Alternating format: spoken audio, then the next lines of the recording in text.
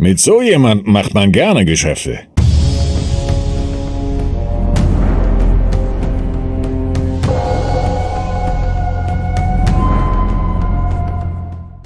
Ja, moin und willkommen zurück in der Raketenfabrik mit Blick auf unseren Bohne, der sich mal eben irgendeine Kutte übergestülpt hat, aber immer noch sein dämliches altes Gewehr auf dem Rücken trägt, äh, mit dem er allerdings schon gute Arbeit geleistet hat. So, und wir können looten, was das Zeug hält. Und während ich loote, kann ich euch ein paar Dinge erzählen. Ich weiß gar nicht, ob ich es hier eigentlich schon erzählt habe in diesem Let's Play, weil es ist doch eine ganze Weile her. Wie gesagt, ich nehme mal an, es sind zwei Monate, äh, dass ich aufgenommen habe das letzte Mal. Ach ja, wisst ihr, wie viele Folgen wir bisher in dieser Aufnahmesitzung haben? es ist eine magische Zahl. Wir haben sechs. Jawohl. So, da ist noch ein Ghoul. Äh, dass der tot ist, das ist nicht Stuhl, sondern äh, Tisch. Alter, was liegt denn hier alles auf dem Boden rum? Ja, damit. Guck mal, da hast du noch eine Kut. Digga. Ja, äh, ist schön, dass du Abstand hältst, äh, weil ansonsten schießt mir sowieso immer nur meine Gegner kaputt. Ähm, ich werde ihm sicherlich noch irgendwann dafür dankbar sein, dass er da ist. Ja, bin ich ja jetzt schon, okay? Eine Honigmesch... Ja, das sieht so komisch aus. Ja. Ah, guck mal, cool. Also nicht die Mehrzahl, ne? Wir wissen Bescheid. Ja, also äh, Stuhl. Ja.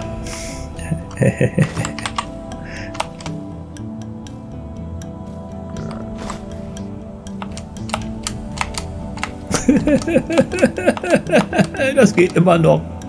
Ist das schön. Ja, man fühlt sich fast wie im alten Fallout 3 und äh, äh, äh, äh, äh, Moment. Ich höre da was trapsen.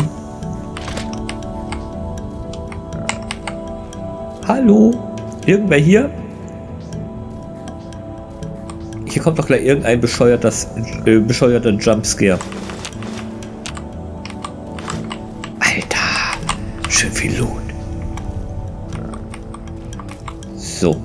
Ja. Während ich loote. Ja, das Ding ist, ich weiß ja nicht, ob ich angegriffen werde, während ich loote. Und dann. Ja, ich weiß nicht, ob ich es euch erzählt habe bisher, weil ist ja eine Weile her. Äh, ich glaube, das letzte Mal, als ich aufgenommen hatte, war da noch überhaupt nichts geplant. Dass ich diesen Sommer nach Regensburg zu den Kollegen Kittenkurbler, Tobi und so weiter fahre. Also zu meiner riesen Fanbase. Ich mag das immer nicht sagen, das ist so doof. Soll mir recht sein. Aber auf der anderen Seite ähm, ist ja. Es sind ja irgendwie. Ja, nee, aber Fan, das heißt fanatisch.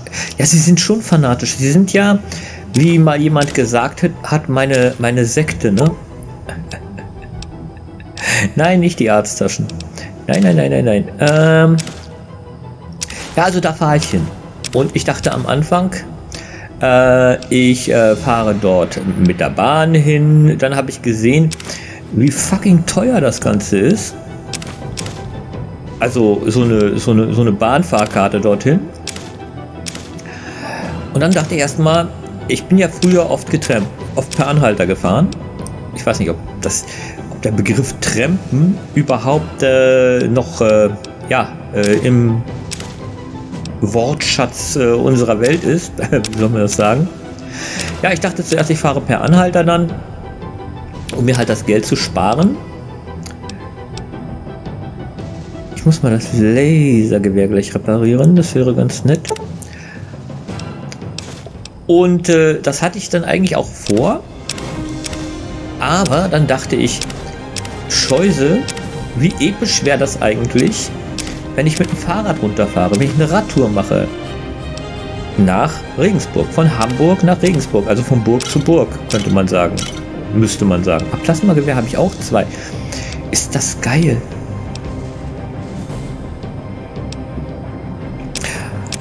Ja, und äh, das ist jetzt beschlossen. Ich fahre mit dem Fahrrad, ich mache eine Radtour nach Regensburg von Hamburg aus. Wer sich jetzt ein bisschen in äh, Geografie auskennt, der wird dann wahrscheinlich sagen, Wird Kollege? schwer, ihnen den Rücken zu decken, wenn ich meine Stelzen nicht bewegen kann. Wird schwer, ihnen den Rücken zu decken, wenn ich meine Stelzen nicht bewegen kann. Das ist so ein bescheuerter Spruch. Bohne kann nicht mehr tragen. Okay, das ist schön. Äh, ich hoffe, er kann überhaupt noch laufen. Äh, ich hoffe, er kann seine Stelzen bewegen. Ähm, da draußen ist wer. Ja, ich glaube, ich muss bald nach Novak zurück. Äh, ist hier nicht irgendwer?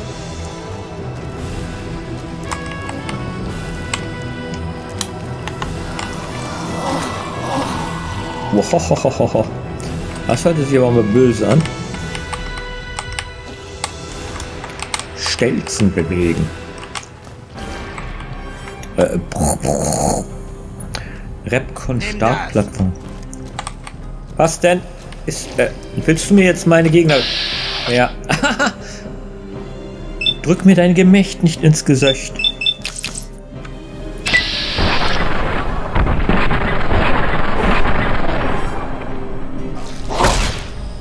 Ah!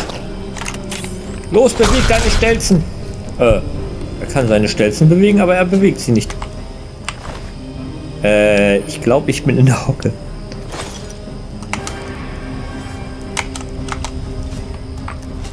Äh. So läuft er hier mit einem Zaunpfahl durch die Gegend. Mir entkommst du nicht. Lass mir auch was übrig, komm. Lass mir was übrig, lass mir was übrig. Alter, Mir entkommst du nicht. Danke. Danke für die Hilfeleistung, das gefällt mir. Bleib mir vom Arsch, da da di, da da da. Ähm, ja, äh, das ist eine kulturelle Referenz, ja. Also, ja, kann ich mal machen. Äh, so, Granatengewehr. Ah, Ja, super. Dann habe ich nämlich noch ein bisschen Platz im Inventar. Na, ich bin doch ein Geniestreich. Das sage ich in letzter Zeit öfter. Ähm, ist mal aus dem Weg. Das wäre nett. Von dir. Ja, danke. Also, ich werde erstmal hier vorne versuchen, wunderst dich jetzt, warum ich zurückgehe. Ich werde erstmal versuchen, hier den vorderen und unteren Bereich abzudecken. Oder gucken wir mal hier hoch, was hier ist. Ach, das sieht ja lustig aus hier. Da liegt noch ein breiter. Da liegt noch ein Ghoul. Hast du den platt gemacht? Bohne? Du sollst solche Sachen nicht machen ohne mein ohne meine Zustimmung. Sehr leicht zum Aufbrechen. Das stimmt. Äh, bin ich gerade aufgestiegen? Nö, noch nicht ganz. also. Ja, äh, was ich anfangen wollte zu erzählen. Also. Jeder mit ein klein wenig äh, Geografiekenntnissen der deutschen Lande oder wenn du jetzt vielleicht gerade auf Google Maps guckst und denkst so von wegen, was zum Fick redet der Honk da? Er hat doch keine Ahnung, was ihn da erwartet. Doch, doch, doch. Dieser Mann hier weiß schon, was er sich da antut und äh, wie weit er da reisen muss. Nämlich, je nach Strecke, so zwischen 600 und 700 Kilometer. Und zwar hin und zurück, muss man immer denken. Äh, ich habe den Denkfehler am Anfang auch gemacht, dass ich ja eine Strecke gedacht habe. Nein, nein, nein, es ist hin und zurück. Oh. Die äh, müssen wir nach Pitt bringen. Ähm. Nee, nee, ist mir schon klar. Die Entfernung ist mir vollkommen bewusst und äh, äh, ihr könnt mir glauben, wie ich so oft sage, mir schlottert der Busen und bebt das Gemächt, wenn ich, wenn ich dran denke. Auf der anderen Seite, ich habe schon einmal, also äh, nein, ich habe schon äh, zwei, dreimal eine längere Strecke als Radtour gemacht, nur ist dieses jahrzehntelang her. Ihr dürft nicht vergessen, dieser Mann hier ist 56 Jahre alt, auch wenn er gerade mal aussieht wie 12. Das habe ich jetzt von jemandem geklaut. Ähm, diesen komischen Witz. Ne, in der Tat, also, ähm, aber ich fühle mich bei weitem nicht so alt, wie ich bin, nämlich 56.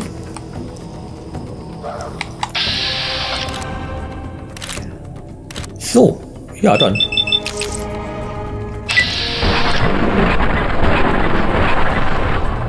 Mir. Mir. Mir. Ich sag mal, kann ich vielleicht auch mal irgendwie... Hä? Warum ist das so dunkel hier? Hör auf, das ist gruselig. Äh, so. Ja, nee, also wie 56 fühle ich mich auf keinen Fall, aber ähm, ja, und man ist so alt, wie man sich fühlt, sagt man ja so im Volksmund. Der Volksmund. Der riecht. So, äh, ich rede Blödsinn, weil... Äh, ja. Gut.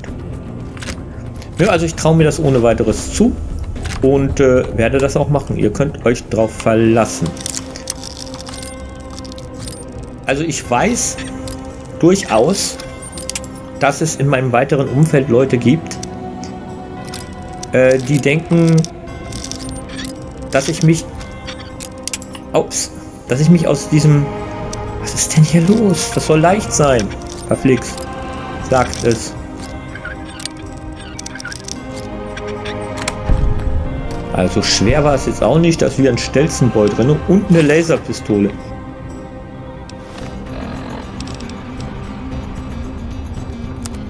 Äh, Plasmagewehr? Reparieren? Habe hab ich dafür eigentlich jetzt inzwischen Munition? Oh, fuck yeah! Na, endlich. Darauf habe ich gewartet. Ah, es ist wirklich so, ähm, ich habe es mir herbeigesehnt, die Energiewaffen. Weil, wenn ich mich recht erinnere, habe ich darauf ja auch trainiert. Und dann muss ich irgendwann nicht mehr mit einem mit einem tierischen Orsch voller Klamotten durch die Gegend laufen, sondern nur noch mit. Ja, guck mal, ich hätte auch nur noch 4 MF-Zellen. E-Zellen habe ich noch 30. Okay, ähm. Kleidung vielleicht auch? Nö, die Breitbruderschaftsrobe habe ich noch. Okay. Oh, ein Jagdrevolver. Den behalte ich dann vielleicht doch mal. Ja. Nein, ich wollte gerade sagen, äh, ich weiß, dass es in meinem Umfeld durchaus, also in meinem weiteren Umfeld, zugegebenermaßen Freunde machen sowas nicht, es Leute gibt, die denken, dass ich mich da irgendwie rauswiesele äh, vor der Tour. Dass ich wohl irgendeinen Weg finde, dann zu sagen, ja, und jetzt klappt es doch nicht. Äh, ja, also äh, wohlgemerkt, ich hätte eine gute Ausrede. Denn ähm, wie so oft ist es mal wieder die, die liebe Kohle, die liebe Kohle, äh, die mir vielleicht irgendwie Sorgen macht. Äh, und zwar gar nicht mal halt äh, Verpflegung während der Fahrt oder sonst was, sondern äh, ich muss mein Fahrrad noch überholen lassen. Ja, das wird von vielen Autos überholt werden, wenn ich. Äh ich rede hier ein Kram. Ich bin doch ein Geniestreich. Nein, äh, das war jetzt nicht äh, die Aussage. Nein, also ich muss jetzt in den nächsten Tagen. Oh, äh, ja, das ist ja gar nicht toll. Jetzt muss ich tatsächlich weg hier, weil ähm, Gegenstände, sonstige. Großes ruiniertes Buch. Schmeißen wir mal weg. Bohne, wir müssen zurück. Äh, wir können uns hier aber nicht raus teleportieren. Äh, die Tür da möchte ich jetzt eigentlich nicht knacken, weil ich nicht weiß, was dahinter ist. Wir gehen mal lieber da zurück, wo wir lang gekommen sind. Alter, ist das groß hier. That's what she said. Ähm, äh, die nehme ich noch mit. Alter. Hier ist noch Loot. Ich mag das nicht glauben. Ähm, ja, also wir müssen hier noch mal wahrscheinlich alleine des Lootes wegen rein. Nein. Da geht es ähm, dahin, wo wir später hin müssen. Kann ich hier durch? Kann ich vielleicht? Nein, natürlich nicht. Ähm, lass uns mal hier durch, Bohne. Ich, äh, ich weiß schon, wo wir lang müssen. Ja, und er heißt Bohne. Wer heißt denn schon Boone? Ähm, ja, hier ist direkt Rezeption. Und So, mal speichern. Schnellspeicherstand. Und dann gehen wir auf die Karte. Weltkarte. Ah ja, die Justizvollzugsanstalt, da will ich noch nicht hin. Ranger Station Charlie. Was haben wir hier? Gypsum Schrottplatz und Helios One. Okay. Wir gehen erstmal nach Novak, wo man uns akzeptiert hat. Ich will dort aber beliebt sein. Wie überall. In der ganzen Welt ist der Sonny beliebt. Death to NCR. Es heißt RCN. So. Nee, eigentlich RKN. Kommen die jetzt schon wieder auf das C? Ach, das kann mir auch niemand sagen. So. Und dann gehen wir mal handeln. Es besteht Handlungsbedarf, wie so oft. Wie viel ist aufgenommen? Alter Schwede, 15 Minuten gerade mal. Also wir kriegen heute, also ich kriege heute eine ganze Menge Schießen hier. Willkommen zurück. Ja. Sicher, äh, schauen Sie sich ruhig um. Sicher, sicher. Hm.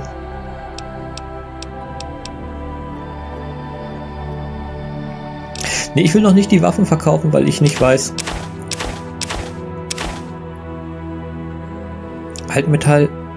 Ich kann das ja noch zum... Ach was, komm. Hau weg den Scheiß. Arzttasche. Gewicht 6.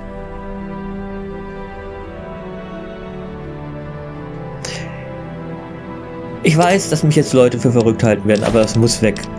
Ich kann doch nicht hier mit, äh, mit äh, Massen von Arzttaschen auf dem Rücken rumlaufen. So, Bright Bruderschaft. Äh, aha, aha, aha. Ja, die Bücher sind viel wichtiger, dass die mal wegkommen. Hammer. Ähm, ich weiß nicht, ob ich Wissenschaftsbücher noch brauche. Weißt du was? Komm, hau weg. Äh, ich muss noch Vorsicht. Oh, der hat ja so viele Ocken. Ich den Jagdrevolver. Weißt du, komm, weg damit. Ein Jagdrevolver. Gibt es sowas? Kamera, ruiniertes Buch, verbranntes Buch. Ich frage mich immer noch, was der Unterschied ist. Hätte man nicht einfach sagen können, Bücher?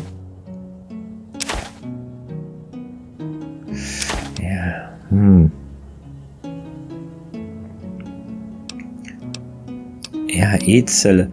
Die weißt du, Pistolen, da war ich noch nie besonders ein Freund von. Geht weg. Leichte Metal-Rüstung. Metal, Leute. Metal, ihr Kasper.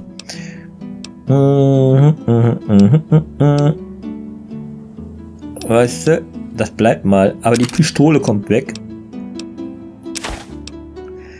Ja, Kevin, falls du hier irgendwas siehst, was ich falsch mache, bitte sofort Bescheid sagen.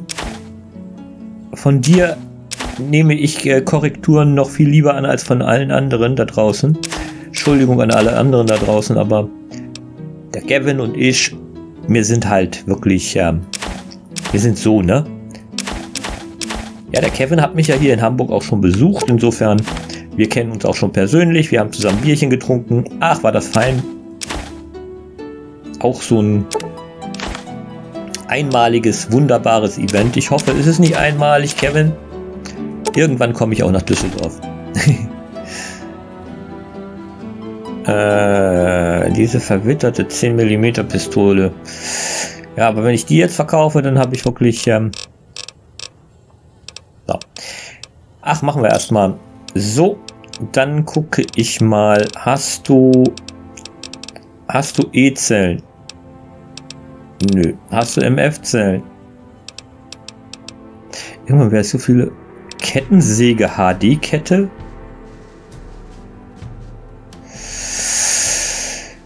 Wofür? Ach so, Kettensäge für eine Kettensäge. Jetzt verstehe ich.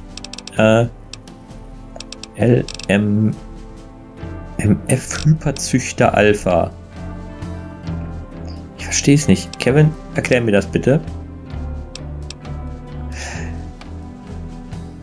Patentia.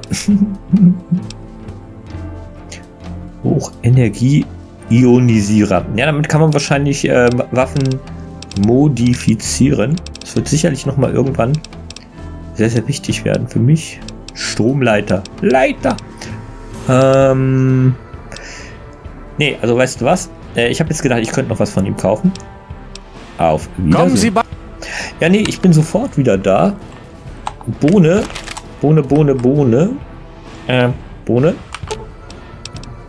Komm mal her. Soll mir recht sein. Jo, immer.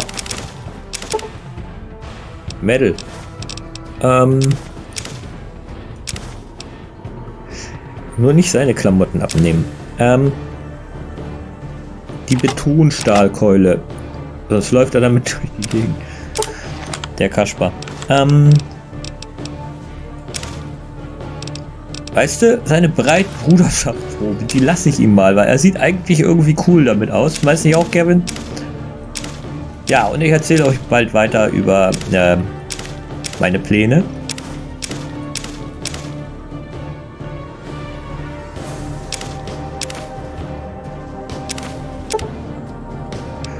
Äh, nee, äh, doch, mal mit.